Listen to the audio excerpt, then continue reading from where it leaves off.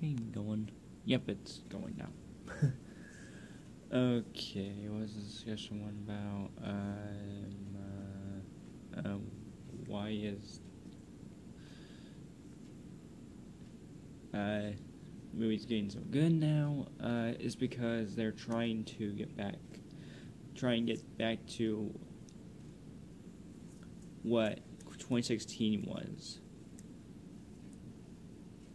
so they can get so they can uh, yeah get back to what 2016 was and stuff. And uh, sorry for not uploading so many times not uploading for a lot of times because of uh, I've been sick half the week and stuff.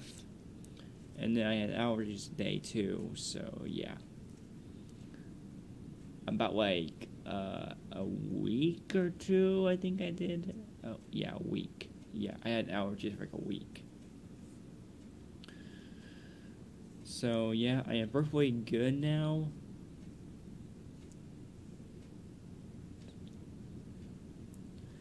For now, and then uh, for other stuff, I will probably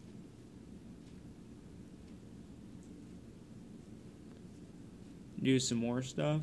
I really, I am, and if you guys are still waiting, still waiting, uh, waiting for the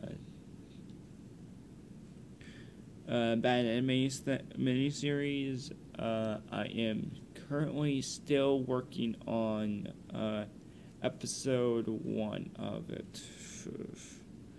I am researching episode one of of what the anime I'm doing still. It does take me a while to uh, research a bit here. So yeah, I will. I will upload a video of it until like probably later or something. I really don't know. So yeah. Uh, so movies will come. Movies will be. So that that video will be come back in about.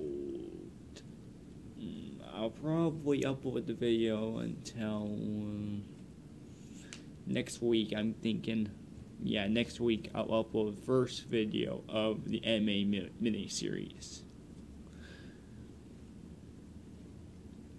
I'm done here next week. So, so yeah, that's why movies are getting so good now, because they are trying to directors are trying to uh, go back to what they what all the bad stuff is from last year. Uh, so yeah, uh,